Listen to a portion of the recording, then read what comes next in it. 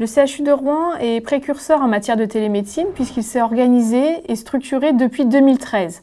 Fort d'une expérience avec une première euh, pierre qui a été posée par les projets euh, télémédecine et EHPAD. Aujourd'hui, on est euh, en partenariat avec 36 EHPAD du territoire du GHT Rouen-Cœur de Seine. La crise sanitaire est venue accroître le nombre de projets et de sollicitations qu'on a pu recevoir pour déployer des projets de télémédecine. Et euh, à ce titre, le CHU de Rouen s'est saisi de cette opportunité finalement pour euh, réorganiser, restructurer euh, la dynamique et l'organisation de l'activité télémédecine au sein du CHU.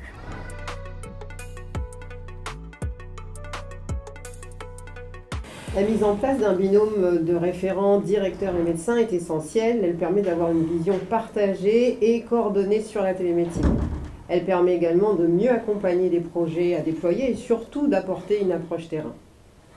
Le, binôme directeur-médecin a été complété maintenant d'un copil qui est constitué de différents intervenants. En effet, euh, depuis 2020, nous avons recomposé ce comité de pilotage de façon à avoir euh, toutes les personnes ressources euh, présentes au sein de, cette organisation. Donc, nous avons notamment la direction des finances, la direction du système d'information, la direction des soins qui sont représentés.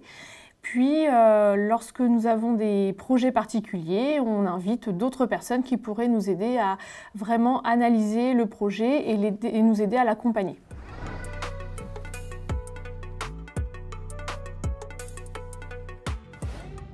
Alors les missions du COPIL sont de centraliser les projets télémédecine, étudier leur faisabilité, lever les éventuels freins qui se présentent et puis suivre la mise en place au fur et à mesure.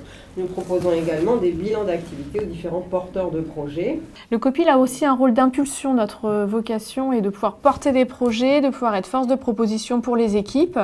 À ce titre, nous étudions euh, les textes qui peuvent sortir en matière de téléconsultation, téléexpertise, télésurveillance et euh, nous sommes aussi euh, à l'initiative de projets avec les partenaires euh, extérieurs, notamment au CHU de Rouen.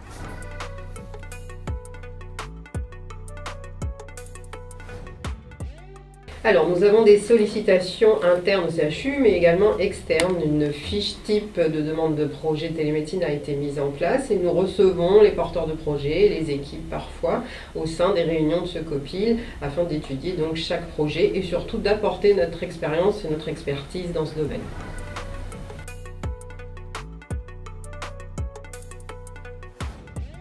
La télémédecine, c'est avant tout une activité dynamique, en constante évolution, et l'ensemble des acteurs impliqués au sein du CHU de Rouen le portent cette activité avec euh, enthousiasme.